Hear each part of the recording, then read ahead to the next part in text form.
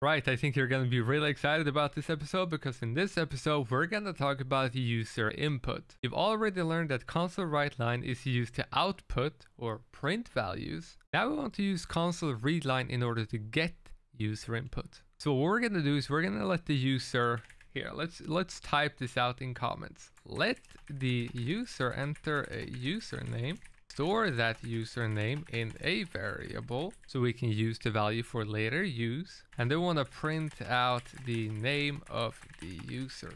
So let's notify the user that they need to enter a username. So let's do that by console write line. Please enter a username. All right, and now let's go ahead and store that value. So string username equals console.readline. Now console readline is actually going to block any further code from running until we hit enter. So it's what's called a blocking call. So once the user presses enter after typing their name, let's go ahead and type out hello plus and then the value of username. So that plus is just saying that we're appending this string value to this string right here. Let's go ahead and try that out real quick. So once you run the application, it's going to say, please enter a username. I'm going to say binary bunny and see how this this line of code hasn't executed yet until we hit enter. See what I forgot to do? Console.read line in order to block the application from closing out. Let's go ahead and try that again. Binary bunny and there we go. Hello, binary bunny. And now it's another blocking call right here. So let's go and press enter. And that's really how easy it is. Now let's actually dive into this a little bit. Console read line, this function right here returns a string. You see how it says there's like a purple box here that indicates that it's a function. And then the return type, which is string. So console read line waits for the user to, to enter a value.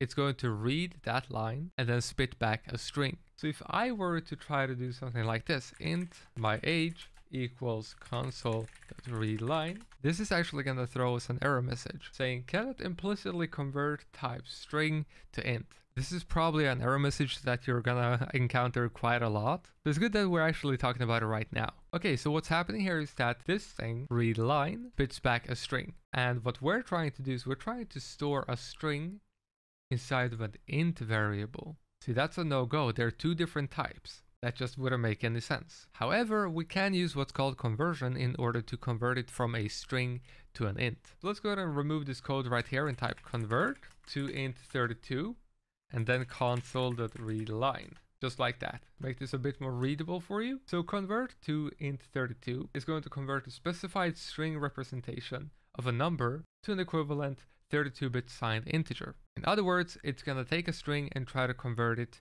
to a number. See how this one returns an int? Aha! So if we were to type something like 11, it would try to convert 11 and store that within my age. However, what we want to do is we want to feed it an input by using console read line and then convert the value that it gets back from reading that line. So if we were to type 10 into the console, it would try to convert 10.